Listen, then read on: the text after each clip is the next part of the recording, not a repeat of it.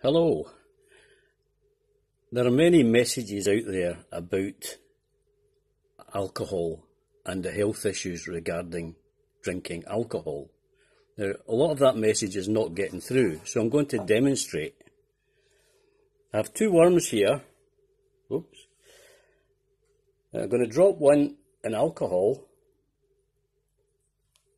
and one in water.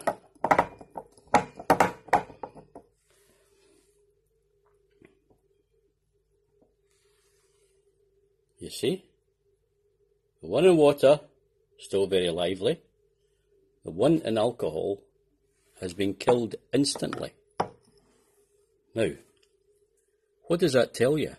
Well, I'll tell you what it tells me, and I'm going to illustrate the message to you. That if you drink alcohol, you'll never be troubled with worms. Cheers.